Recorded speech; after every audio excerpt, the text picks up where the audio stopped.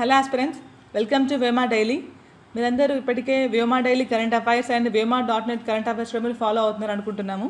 And Vema dot నెట్లో APSC సంబంధించిన group one group two group three exams అన్నీ ఉన్నాయి. ఈ మాక్ టెస్ట్ ఈ ఆన్లైన్ ఆఫ్లైన్ టెస్ట్ సిరీస్ ఉన్నాయి. దీనికి సంబంధించిన డీటెయిల్స్ అన్నీ ఇక్కడ ఉన్నాయి. And chapter wise and grand test ఉంటాయి. ఈ నెంబర్స్కి మీరు కాల్ చేసి డీటెయిల్స్ కనుక్కోవచ్చు. ఇంకా కావాలంటే వీటిపైన డిస్కౌంట్స్ అయినా కూడా ఉంటాయి. ఈ వీడియోలో మనము ముఖ్యమైన రాజ్యాంగబద్ధ సమస్యల గురించి చూద్దాము. దాంట్లో ఎక్కువగా ఏముంటాయి? ఎలక్షన్ కమిషన్ సెంట్రల్ లెవెల్లో ఉండేది అండ్ స్టేట్ లెవెల్లో ఉండేది అండ్ యూపీఎస్సీ అండ్ స్టేట్ లెవెల్లో ఉండే పబ్లిక్ సర్వీస్ కమిషన్స్ గురించి ఫైనాన్స్ కమిషన్ గురించి CAG and attorney general advocate general and ఇక్కడ చూస్తే మనము అడ్వకేట్ జనరల్ తర్వాత national commission for SC ST BCs BCs కూడా రాజ్యాంగ భద్రత కల్పించారు రీసెంట్గా సో ఆర్టికల్ యాడ్ అయింది ఏదంటే త్రీ థర్టీ ఎయిట్ బి వీటికి సంబంధించిన ఆర్టికల్ చూస్తే ఫస్ట్ నుండి. ఇక్కడ గార్డియన్ ఆఫ్ డెమోక్రసీ అని ఏ సంస్థ అంటే మనము? ఈసీని ఎలక్షన్ కమిషన్ అంటున్నాము సో ఇది ఆర్టికల్ ఏది? త్రీ ట్వంటీ ఫోర్ స్టేట్ లెవెల్లో ఉండేది అంటే ఇది ఫైవ్ ఇయర్స్కి ఏర్పాటు చేస్తూ ఇది uh, స్టేట్ లెవెల్లో ఉండే కమిషన్ ఎలాంటి ఎలక్షన్ కండక్ట్ చేస్తుంది? లోకల్ బాడీస్ ఎలక్షన్ కండక్ట్ చేస్తుంది. టూ ఫార్టీ త్రీ కే కింద ఇది ఎవ్రీ ఫైవ్ ఇయర్స్ తర్వాత ఒకసారి స్టేట్ లెవెల్లో ఎలక్షన్స్ కండక్ట్ చేయాలి. అంటే స్టేట్ లెవెల్లో ఉండే లోకల్ బాడీస్కి మున్సిపాలిటీస్కి అండ్ లోకల్ బాడీస్కి. సో ఇక్కడ యూపీఎస్సి. యూపీఎస్సి అంటే ఏమంటారు దీన్ని? Watch dog of merit system ఇది ఆర్టికల్ త్రీ ఫిఫ్టీన్ అంటే యూపీఎస్సి తర్వాతనే ఎలక్షన్ కమిషన్ వస్తుంది. అట్లా గుర్తుంచుకోండి. నంబర్ ఇది త్రీ ఫిఫ్టీన్ తర్వాత ఎలక్షన్ యూపీఎస్సి తర్వాత ఎలక్షన్ వస్తుంది. అండ్ ఇక్కడ కూడా స్టేట్ లెవెల్లో చూసుకుంటే three fifteen one finance commission two eighty article number ఇది. And next CIG one forty eight మీకు సంబంధించిన ఏవైనా ఉంటే గుర్తుంచుకోండి. ట్వంటీ ఎయిట్ అంటే ట్వంటీ ఎయిట్ రూపీస్ అను. ఫైనాన్స్ కమిషన్ అంటే ఫైనాన్స్ అని డబ్బులే కాబట్టి ఈ ట్వంటీ ఎయిట్ రూపీస్ అన్నట్టుగా ఆర్టికల్ గుర్తుంచుకోవడానికి ట్రై చేయండి. దేని తర్వాత ఏ ఆర్టికల్ వస్తుంది అన్నట్టుగా కూడా ఇందాక అనుకున్నట్టు త్రీ ఫిఫ్టీన్ తర్వాత త్రీ ట్వంటీ ఫోర్ వస్తుంది. అండ్ ఇక్కడ మనం ఏదో ఒక నెంబర్ వన్ ఫార్టీ ఎయిట్ అనేది లింక్ చేసుకుంటూ మీకు సంబంధించిన డేట్స్ కానీ అట్లాంటివి ఏమైనా ఉంటే గుర్తుంచుకోవాలి. ఇంకా ఇది అటార్నీ జనరల్ అంటే స్టేట్ లెవెల్లో సారీ నేషనల్ లెవెల్లో ఉండేది నథింగ్ బట్ ఒక అడ్వకేట్ని వాళ్ళు నియమించుకున్నట్టు కనుక ఒక రాజ్యాంగ సంస్థ అయినా కూడా వాళ్ళు ఎప్పుడైనా తీసేయచ్చు ఎవరైనా టైం అంటే ఏముండదు టెన్యూర్ అంటే ఏముండదు వీళ్ళకు. ఈజీగా వాళ్ళు రిమూవ్ చేయొచ్చు. జస్ట్ లైక్ ఒక అడ్వకేట్ వాళ్ళకు అడ్వైస్ చేయడానికి గవర్నమెంట్ తరపున. స్టేట్ లెవెల్ సెంట్రల్ లెవెల్లో ఉండే ఆర్టికల్ సెవెంటీ సిక్స్ ఈ రాష్ట్ర స్థాయిలో ఉండే అడ్వకేట్ జనరల్ ఇది అటార్నీ జనరల్ అంటేనేమో సెంట్రల్ లెవెల్లో అడ్వకేట్ జనరల్ అంటే స్టేట్ లెవెల్లో ఆర్టికల్ ఎంత? వన్ సిక్స్టీ ఫైవ్ ఇది. One forty eight and one sixty eight అట్లా. అండ్ నెక్స్ట్ ఎస్సీస్ గురించి. నేషనల్ కమిషన్ ఫర్ ఎస్సీస్ ఇది అంటే ఏర్పాటైంది ఫస్ట్ సిక్స్టీ ఫిఫ్త్ కాన్స్టిట్యూషన్ అమెండ్మెంట్తో ఏర్పడిన తర్వాత అరవై ఐదవ రాజ్యాంగ సవరణ ద్వారా రెండు కలిపి ఎస్సీ అండ్ ఎస్టీస్కి రెండు కలిపి ఒకే కమిషన్ ఏర్పాటు అయిన తర్వాత మళ్ళీ ఎయిటీ నైన్త్ అమెండ్మెంట్ ద్వారా సపరేట్ అయింది. ఎస్సీ కమిషన్ సపరేట్ అయింది. ఎయిటీ నైన్త్ తర్వాత ఎస్సీ ఎయిటీ నైన్త్ అమెండ్మెంట్తో ఇది ఏర్పాటైంది ఎస్సీ కమిషన్ సో గుర్తుంచుకోవాల్సిన ఆర్టికల్స్ ఏమంటే మూడు లైన్గా ఉంటాయి. Three thirty eight three thirty eight A ST commission అది and BC commission three thirty eight B అనమాట ఇదంతా వీళ్ళ ఆర్టికల్స్ అవి బాడీకి సంబంధించిన ఆర్టికల్స్ అండ్ నెక్స్ట్ ఇక్కడ చూస్తే కంపోజిషన్ ఎంతమంది ఉంటారు మెంబర్స్ ఈ బాడీస్లో ఎంతమంది ఉంటారు అన్నప్పుడు? ఎలక్షన్ కమిషన్లో వన్ ప్లస్ టూ ఉంటారు. వన్ ప్లస్ టూ మెంబర్స్ ఉంటారు. అంటే ఇది ఇప్పుడు వన్ మోర్ దెన్ వన్ ఉంటే మల్టీ మెంబర్ బాడీ అంటున్నాము. సో ఫస్ట్ ఈ commission election commission single member బాడీగా ఉండింది. ఇనిషియల్గా స్టార్ట్ అయినప్పుడు సింగిల్ మెంబర్ బాడీగా ఉంది. నెక్స్ట్ మల్టీ మెంబర్ అయిపోయింది. మళ్ళీ సింగిల్ మెంబర్ ఇయర్స్ చెప్పట్లేదు బట్ జస్ట్ అయితే ఫస్ట్ సింగిల్ మెంబర్ బాడీగా ఉండి నెక్స్ట్ మల్టీ మెంబర్ బాడీ అయ్యి మళ్ళీ సింగిల్ మెంబర్ అయ్యి ఉండి ఇప్పుడు ప్రజెంట్ మల్టీ మెంబర్గా ఉంది. అంటే ఎక్కువ క్వశ్చన్ మనల్ని ఈవెన్ ఇప్పుడు వ్యోమా కండక్ట్ చేసే మాక్ టెస్ట్లో కూడా టెస్ట్ సిరీస్లో కూడా ఇలాంటి ట్రిక్కీ క్వశ్చన్స్ కాన్సెప్ట్ మీద ప్లస్ అనాలిసిస్గా ఉండేలాగా క్వశ్చన్ ప్రిపేర్ చేస్తున్నారు. సో మన టెస్ట్ సిరీస్ కూడా మీకు యూస్ అవుతాయి. అండ్ ఇక్కడ చూస్తే మనము చెప్తున్నట్టుగా multi member single multi single multi అని గుర్తుంచుకోవాలి. ఎలక్షన్ కమిషన్ ఇప్పుడు మల్టీ మెంబర్ బాడీగా ఉంది.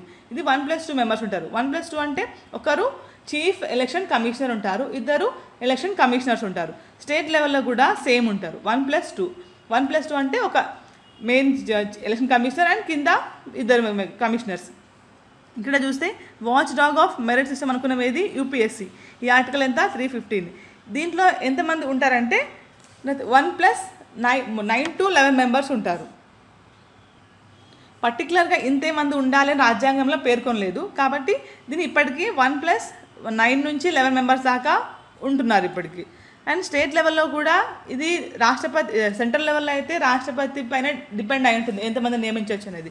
స్టేట్ లెవెల్లో పబ్లిక్ సర్వీస్ కమిషన్స్ గురించి గవర్నర్ నియమిస్తారు నియమిస్తారు ప్లస్ ఎంతమంది ఉండొచ్చు అని కూడా గవర్నర్ నిర్ణయిస్తారు దీని ప్రకారం. అండ్ ఇక్కడ ఫైనాన్స్ కమిషన్లో వన్ ప్లస్ ఫోర్ మెంబర్స్ ఉంటారు. ఒక చైర్మన్ ఉంటారు ఒక ఐ మీన్ ఫోర్ మెంబర్స్ ఉంటారు. వన్ ప్లస్ ఫోర్ అంటే ఒక చైర్మన్ అండ్ ఫోర్ మెంబర్స్ ఉంటారు ఫైనాన్స్ కమిషన్లో ఆర్టికల్ ఎంత? Two eighty and next CIG ఒకరే ఉంటారు. అటార్నీ జనరల్ అనుకున్నాం మనము. అది సెంట్రల్ లెవెల్లో కాబట్టి అటార్నీ జనరల్ అంటున్నాము. ఒక్కరు ఉంటారు. స్టేట్ లెవెల్లో అడ్వకేట్ జనరల్ ఒక్కరు ఉంటారు. అండ్ ఇక్కడ ఈ మూడు బాడీస్ చూస్తే SC commission ST commission BC commission దీంట్లో one plus one plus three ఉంటున్నారు.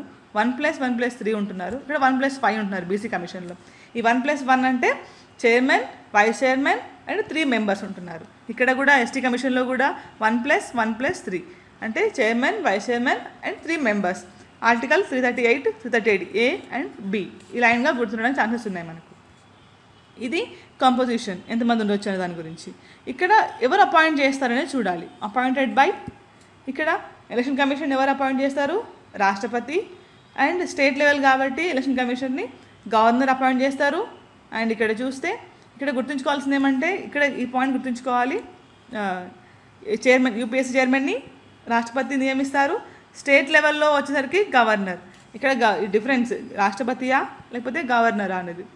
ఇది యూపీఎస్సీనేమో మెంబర్స్ అండ్ చైర్మన్ని రాష్ట్రపతి నియమిస్తారు. స్టేట్ లెవెల్లో గవర్నర్ నియమిస్తారు. ఫైనాన్స్ కమిషన్ ఎట్లా స్టేట్ లెవెల్లో సెంట్రల్ లెవెల్లో ఉన్నప్పుడు దాన్ని రాష్ట్రపతి నియమిస్తారు. వన్ ప్లస్ ఫోర్ మెంబర్స్ ఉంటారు. ఆర్టికల్ టూ ఎయిటీ సిఏజీ చాలా ఇంపార్టెంట్ బాడీస్ కాబట్టి ఇవన్నీ రాష్ట్రపతి నియమిస్తారు. అండ్ ఇక్కడ అటార్నీ జనరల్ రాష్ట్రపతినే స్టేట్ లెవెల్ కాబట్టి అడ్వకేట్ జనరల్ కన్ఫ్యూజ్ అవ్వకూడదు. అటార్నీ జనరల్ అంటే సెంట్రల్ లెవెల్ అడ్వకేట్ జనరల్ అంటే అటార్నీ జనరల్ అంటే సెంట్రల్ లెవెల్ అడ్వకేట్ జనరల్ అంటే స్టేట్ లెవెల్ రాష్ట్రాల్లో ముఖ్యంగా ఎక్కువగా పాలిటిక్స్ గొడవ ఉన్నప్పుడు కూడా మనం తెలంగాణలో కూడా చూసాము. ఒక కేసులో డిస్ప్యూట్ ఉన్నప్పుడు స్టేట్ లెవెల్లో ఉండే అడ్వకేట్ జనరల్ రిజైన్ చేయడం కూడా జరిగింది. సో నెక్స్ట్ ఈ గవర్నర్ నియమిస్తారు వీళ్ళని. ఇక్కడ చూస్తే ఎస్సీ కమిషన్ చైర్మన్ని మెంబర్స్ని ఎవరు నియమిస్తారు? రాష్ట్రపతి నియమిస్తారు.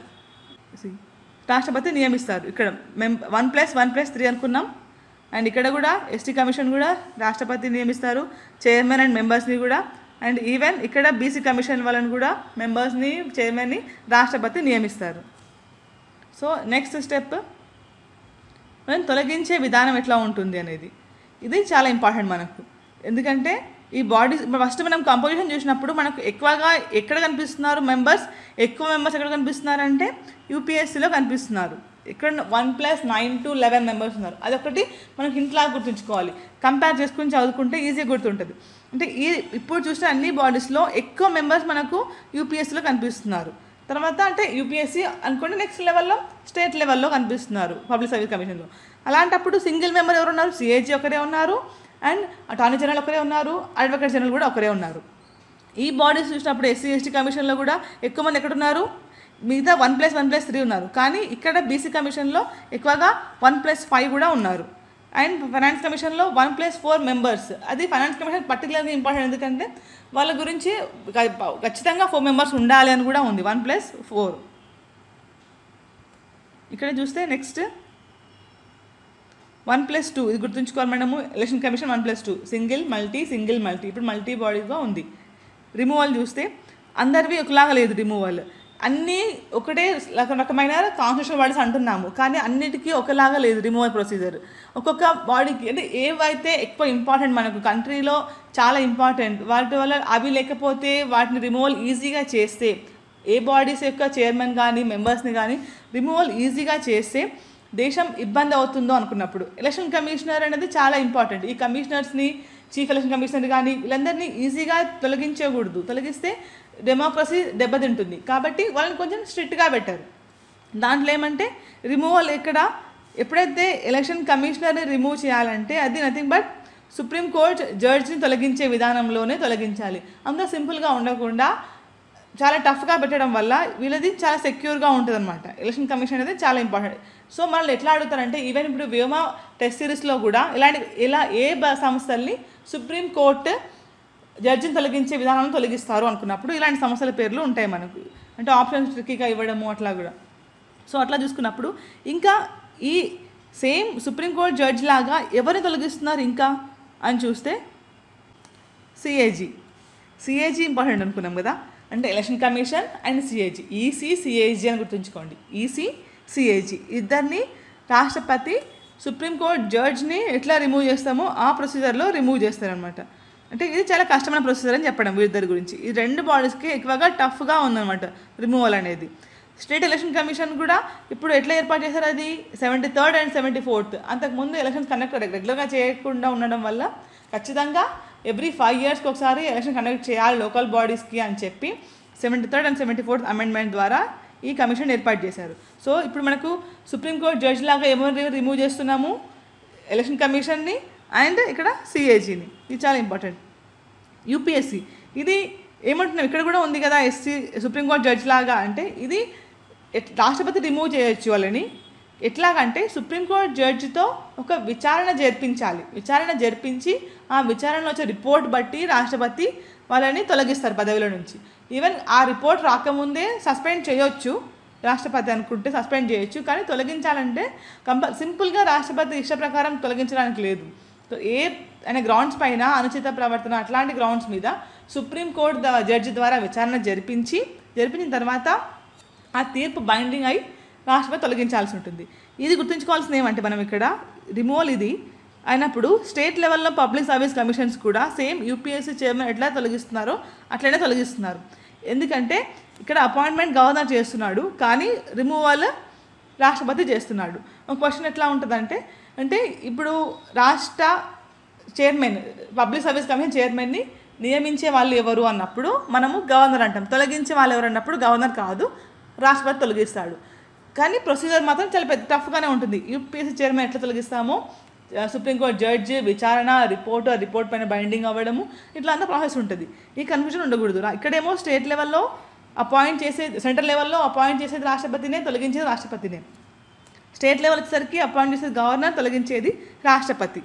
అండ్ ఇక్కడ ఫైనాన్స్ కమిషన్ ఇక్కడ ఎవరు తొలగిస్తారంటే రాష్ట్రపతి డిజాల్వ్ చేసేయచ్చు అనమాట తొలగించాలనుకున్నప్పుడు వీళ్ళని ఫైనాన్స్ కమిషన్ని అండ్ నెక్స్ట్ సిఏజీ సిఏజీ ఇందాక అనుకున్నాం కదా మనము టఫ్ కొంచెం రాష్ట్రపతి సుప్రీంకోర్టు జాయింట్ ప్రొసీజర్లోనే రిమూవ్ చేయాలి. ఇక్కడ అటార్నీ జనరల్ అంటున్నాం. అటార్నీ జనరల్ అంటే మనం అనుకున్నాము జస్ట్ ఒక ఒక అడ్వకేట్ వాళ్ళకు అడ్వైస్ చేయడానికి. కాబట్టి రాష్ట్రపతి ఇష్టం ఉన్న రోజులు ఉప- ఉండొచ్చు పదవిలో తర్వాత తొలగించేయచ్చు. ఇక్కడ స్టేట్ లెవెల్లో గవర్నర్ గవర్నర్ ఈజీగా అలానే రిమూవ్ చేయొచ్చు. ఇది కూడా ఈ మూడు బాడీస్ వచ్చినప్పుడు ఎస్సీ ఎస్టీ బీసీ కమిషన్స్ని వీళ్ళు గవర్నర్ ప్రెసిడెంట్ ప్లెజర్ వరకు ఆయనకి ఎంతవరకు ఇష్టం ఉంటే అన్ని రోజులు వాళ్ళు ఉంటారనమాట అంత ఈజీగా తీసేయచ్చు కూడా వాళ్ళని. టఫ్ ఎక్కడ వచ్చిందంటే ముఖ్యంగా ఎక్కువ టఫ్ అనుకుంటే CAG and election commission next కొంచెం టఫ్ ఏదంటే UPSC and state public service commission గురించి అది రిమూవల్ ప్రొసీజర్ నెక్స్ట్ క్వాలిఫికేషన్ ఏంటి? ఈ క్వాలిఫికేషన్ ఎట్లా ఉండాలంటే ఇక్కడ చూసినప్పుడు ఎలక్షన్ కమిషనర్ ఇది అంత ఎట్లా అంటే క్వాలిఫికేషన్ ఏంటి అనేది పేర్కొనలేదు. ఎలక్షన్ కమిషన్ ఉండాల్సిన క్వాలిఫికేషన్స్ ఏంటి ఇట్లా ఇట్లా అనేది ఏమీ పేర్కొనలేదు. ఇక్కడ స్టేట్ లెవెల్లో కూడా సేమ్ అంతే. కానీ ఇక్కడ యూపీఎస్సీ చూసామనుకోండి యూపీఎస్సీలో వీళ్ళ క్వాలిఫికేషన్స్ కూడా క్లియర్గా ఏమీ లేవు. వీళ్ళు ఉండాలి వీళ్ళ క్వాలిఫికేషన్స్ ఉండాలి అని ఏం లేదు. కానీ ఉండే మెంబర్స్లో ఎంతమంది ఉన్నా కూడా అంటే మెంబర్స్ ఎంతమంది అనేది రాష్ట్రపతి ఇష్ట ప్రకారం నిర్ణయిస్తారు. అండ్ ఉన్న మెంబర్స్లో సగం మంది టెన్ ఇయర్స్ పబ్లిక్ గవర్నమెంట్ సర్వీస్లో వాళ్ళు ఉండాలి అనేది ఒక రూల్ అనమాట అంటే ఇక్కడ చూస్తే పది మంది ఉన్నారనుకోండి దాంట్లో కనీసం ఐదు మంది టెన్ ఇయర్స్ వాళ్ళకి సర్వీస్ ఉండాలి. గవర్నమెంట్ సర్వీస్లో పనిచేసి ఉండాలి. ఎంతమంది మెంబర్స్ అనేది పర్టికులర్గా లేదు. ఇలా అర్హతలు ఏం నిర్ణయించలేదు. కానీ రాజ్ రాష్ట్రపతి విచక్షణ ప్రకారము ఎంతమందిని నియమిస్తారు. ఆ నియమించిన మెంబర్స్ సగం మంది మాత్రము కనీసం సగం మంది ఎంతమంది ఉంటే పది మంది ఉన్నారు కాబట్టి ఐదు మంది పది మంది ఉంటే ఐదు మంది అయినా టెన్ ఇయర్స్ వరకు గవర్నమెంట్ సర్వీస్లో ఎక్స్పీరియన్స్ ఉండాలన్నమాట. నెక్స్ట్ ఇక్కడ ఇది కూడా స్టేట్ లెవెల్లో పబ్లిక్ సర్వీస్ కమిషన్ కూడా ఎంతమంది క్వాలిఫికేషన్ ఏంటి అనేది కూడా గవర్నర్ నిర్ణయిస్తాడు. ఇక్కడ స్టేట్ లెవెల్లో ఉండే పబ్లిక్ సర్వీస్ కమిషన్స్కి అంతే గవర్నర్ చూసుకుంటున్నాడు. ఎక్సెప్ట్ రిమూవల్ రిమూవల్ మాత్రం రాష్ట్రపతి సుప్రీంకోర్టు జడ్జితో విచారణ జరిపించి మాత్రమే రిమూవ్ చేయగలుగుతున్నాడు. నెక్స్ట్ ఇంకా ఫైనాన్స్ కమిషన్ కొంచెం కాంప్లికేట్గా ఉంటుంది. అనుకున్నాం బాడీ ఎంత నెంబర్ ఎంత ఇది ఆర్టికల్ ఎంత? టూ ఎయిటీ ఉండే కాంపోజిషన్ ఎంత? One plus four one plus four members ఉంటారు దీంట్లో. దీంట్లో ఈ ఫోర్ మెంబర్స్కి ఎలాంటి క్వాలిఫికేషన్ ఉండాలి అనేది ఉన్నప్పుడు చూస్తే ఫస్ట్ వన్ ప్లస్ ఫోర్ ఒక చైర్మన్ ఫోర్ మెంబర్స్ ఫస్ట్ చైర్మన్కి ఎలా ఉండాలంటే పబ్లిక్ అఫైర్స్లో ఆయనకు పరిజ్ఞానం ఉండాలి. అంటే ప్రజా సంబంధ విషయాలలో ఆయనకు ఒక నాలెడ్జ్ ఉండి ఉండాలి అది చైర్మన్కి ఉండాల్సిన qualification and next four members ఉన్నారు. వన్ టూ త్రీ ఫోర్ ఈ ఫోర్ మెంబర్స్లో ఒకరు హైకోర్టు జడ్జ్ అయినా ఉండాలి. అలాంటి క్వాలిఫికేషన్ ఉన్న పర్సన్ అయినా ఉండాలి. హైకోర్టు జడ్జ్ లేకపోతే అలాంటి క్వాలిఫికేషన్ ఉన్న పర్సన్ అయి ఉండాలి. నెక్స్ట్ సెక్ ఇది ఒక మెంబర్ ఇది. ఇంకొక మెంబర్ సెకండ్ మెంబర్ అనుకోండి. ఆ మెంబర్కి ఏముండాలి? ప్రభుత్వ ఆర్థిక గణాంకాలపైన అనుభవం ఉండాలి. నథింగ్ బట్ మొత్తం చూస్తే కూడా ఫైనాన్స్ మీద గ్రిప్ ఉన్న వాళ్ళని తీసుకుంటున్నారు. సెకండ్ పర్సన్ ఏమో ఆర్థిక అంశాలపై అనుభవం ఉన్న పర్సన్ తీసుకుంటున్నారు. థర్డ్ పర్సన్ కూడా ఆర్థిక వ్యవహారాలు పరిపాలన సంబంధించిన అనుభవం ఎక్స్పీరియన్స్ ఉన్న నాలెడ్జ్ ఉన్న వాళ్ళని తీసుకుంటున్నారు. అండ్ ఫోర్త్ మెంబర్ కూడా ఆర్థిక శాస్త్రంలో నైపుణ్యం ఉండేవాళ్ళు. ఈ ఫైనాన్స్ కమిషన్ మొత్తం కూడా నథింగ్ బట్ ఇట్లానే ఉన్నాయి వన్ ప్లస్ ఫోర్ చైర్మన్కేమో ప్రజా సంబంధ విషయాల పరిజ్ఞానం ఉండాలి. మిగతా ఫోర్ మెంబర్స్లో ఫస్ట్ మెంబర్కి హైకోర్టు జడ్జ్ లాగా అయి ఉండాలి. లేకపోతే అలాంటి క్వాలిఫికేషన్ ఉండి ఉండాలి. మిగతా ముగ్గురు మెంబర్స్ కూడా ఆర్థిక సంబంధ విషయాలపైన పరిజ్ఞానం ఉండి ఉండాలి. ఇక్కడ చూస్తే సిఏజీ గురించి కూడా దాంట్లో ఇట్లా ఈ యాక్ట్లో నైన్టీన్ సెవెంటీ వన్లో ఒక యాక్ట్ తయారు చేసి సిఏజీ యాక్ట్ తయారు చేసి పార్లమెంట్ సిఏజీ యాక్ట్.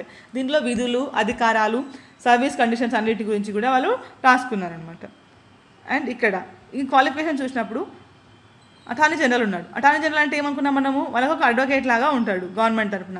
కాబట్టి ఆయన సుప్రీంకోర్టులో వాదించాలి. సెంట్రల్ లెవెల్లో కాబట్టి అటార్నీ జనరల్ ఆయన పోయి సుప్రీంకోర్టులో వాదించాలనుకున్నప్పుడు ఆయన ఏముండాలి?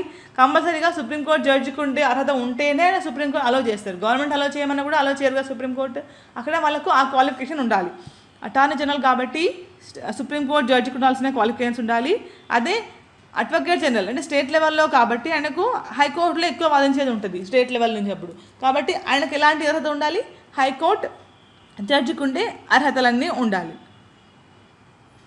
అండ్ వీటి గురించి సపరేట్గా అర్హతలు ఏం నిర్ణయించలేదు మిగతా బాడీస్ గురించి.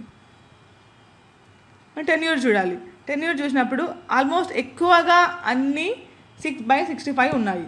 అంటే ఇక్కడ చూస్తే మనము స్టే సెంట్రల్ లెవెల్లో అనుకున్నప్పుడు సిక్స్టీ ఫైవ్ ఉంటుంది. అదొకటి గుర్తుంచుకోవాలి. Six by sixty five. ఇక్కడ చూస్తే ఈసీ ఎలక్షన్ కమిషన్ ఎంత అంటున్నాము? Six by sixty five. అంటే సిక్స్ ఇయర్స్ ఆర్ వాళ్ళకు సిక్స్టీ ఫైవ్ ఇయర్స్ ఏజ్ వచ్చే వరకు ఉంటుంది వాళ్ళ టెన్యూర్ ఏది ఇది ఎలక్షన్ కమిషన్ స్టేట్ లెవెల్లో ఫైవ్ ఇయర్స్ వరకే ఉంటుంది. ఎలక్షన్ కమిషన్ ఇది. అండ్ నెక్స్ట్ ఇంకా యూపీఎస్సీ చూసుకుందాం అనుకోండి. యూపీఎస్సీ సెంట్రల్ లెవెల్ ఏమనుకున్నాం మనము? సిక్స్టీ ఫైవ్ ఇయర్స్ ఉంటుంది కాబట్టి ఆల్మోస్ట్ ఎక్కువగా six by sixty five central లెవెల్లో అనుకోవాలి. అండ్ ఇక్కడ స్టేట్ లెవెల్లో చూసుకున్నప్పుడు సిక్స్టీ టూనే ఉంటుంది. కానీ ఇక్కడ ఫైవ్ ఇయర్స్ కాదు. ఎందుకంటే ఇది ఫైవ్ ఇయర్స్ ఎందుకు ఉంది స్టేట్ అనేది ఎలక్షన్స్ ఫైవ్ ఇయర్స్ జరుగుతాయి కాబట్టి ఫైవ్ ఇయర్స్ అనుకోండి అంతే. ఇక్కడ ఏపీబీఎస్సీ ఆర్ టీఎస్పీఎస్సీ మనం వీళ్ళ టెన్యూర్ ఎంతవరకు ఉంటుందంటే six years or six to two years వరకు ఉంటుంది. Six by six to two అని గుర్తుంచుకోవాలి ఇది. యూపీఎస్సీది సిక్స్ బై సిక్స్టీ ఫైవ్ ఇక్కడ ఫైనాన్స్ కమిషన్ అనేది అట్లా ఎంత పర్టికులర్గా ఏం కాదు. ఫైవ్ ఇయర్స్ ఉంటుంది. కానీ వీళ్ళని అప్పుడప్పుడు ఐ మీన్ ఆ సంస్థని అని డిజాల్వ్ చేయొచ్చు గవర్నమెంట్ కూడా. రాష్ట్రపతి అనుకుంటే. ఇక్కడ సిఏజీ సిఏజీ కూడా six by sixty five years ఉంటుంది అనమాట టెన్యూర్ ఇక్కడ చూస్తే అటార్నీ జనరల్ అనుకున్నాం. అటార్నీ జనరల్ అనేది ఎన్ని ఎన్ని రోజులు ఏం లేదు. ఎన్ని రోజులైనా వాళ్ళు పదవిలో ఉంచి తొలగించవచ్చు సో ఇలా ఏమీ టెన్యూర్ అంటే ఏం లేదు.